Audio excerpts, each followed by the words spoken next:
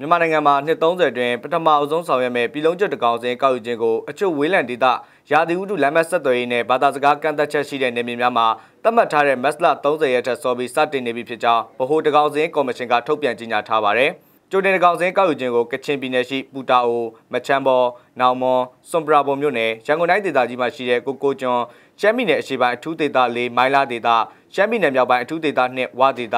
ဝေးလံခေါင်ပြဒေသများမှာအကျိုးကောက်ယူနေပြီဖြစ်ကြောင်းသိရှိရပြီးကချင်ပြည်နယ်ပူတာအိုမှာကျိုတင်တကောင်စင်း90ရာခိုင်နှုန်းကျော်ပြီးစီးနေပြီဖြစ်ကတာမန်တကောင်စင်းနဲ့ရက်စောကြိုပြီးနေတာကြောင့်နောက်ထပ်ဝင်ရောက်လာသူတွေတကောင်စင်းမှာမပါမာကိုဒေသခံတွေကစိုးရိမ်နေကြပါတယ် ပူတာအိုမဲဆန္ဒနဲ့အမှတ်နှစ်မှာလွတ်တော်ကိုယ်စားလှယ်ဦးလီပေါ်ရဲကပူတာအိုခရိုင်မှာကြိုတင်တကောင်စင်းကောက်ရမှာအိမ်မှာမရှိတဲ့သူတွေမပါတော့အဝေးထွက်တဲ့လူတွေမပါမှာဒေသခံတွေစိုးရိမ်နေကြတာဖြစ်ပြီးတက္ကသိုလ်ဝင်စာမွေးဝဲစာမွေးပြီးမှပြန်လာမဲ့ကလေးတွေနဲ့ပရင်းပေါ်ကထွက်ပြေးလာတဲ့ကလေးတွေကကြိုတင်တကောင်စင်းထဲမှာမပါရင်ဘယ်လိုလုပ်မလဲဆိုပြီးဒေသခံတွေကစိုးရိမ်နေလို့ပြည်နယ်လာဝကကိုလာအကြောင်းကြားတိုင်ပင်တာဖြစ်ကစည်ရင်မှန်ရစေခြင်းနဲ့ရွေချက်ရှိတယ်လို့ဆိုပါတယ်ပူတာအိုခရိုင်တွင် ပန်နန်းတင်မြို့နယ်ကွဲအပါဝင်မြို့နယ်ပေါင်း6မြို့နယ်ရှိပြီးအိမ်တော်စုပေါင်း16000အနက်မက်စလာ18ရက်နေ့ညနေပိုင်းအထိအိမ်တော်စုပေါင်း14549ခုလူဦးရေ8935ဦးကိုကောက်ယူနိုင်ခဲ့ပြီးရာဂိုင်နှုန်း90ကျော်ပြီးစီးခဲ့တာဖြစ်ပါတယ်။ပြည်နယ်လဝကညွှန်မှုဦးဝင်းလင်ကပူတာအိုခရိုင်အတွက်သတ်မှတ်တာကမက်စလာ2ရက်နေ့ကနေမက်စလာ28ရက်နေ့ထိဖြစ်ပြီး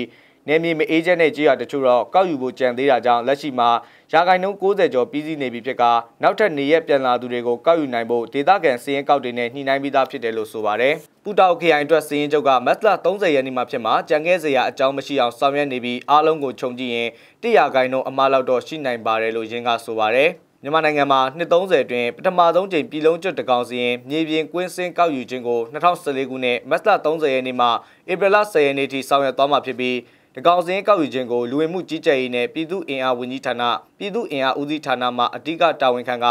တိုင်းဒေသကြီးပြည်내အစိုးရအဖွဲ့ဝင်များနဲ့ဒေသခံပြည်သူများမှကူညီပူးပေါင်းဆောင်ရွက်နေပြီးကုလသမဂ္ဂလူဦးရေရန်မုံငွေအဖွဲ့က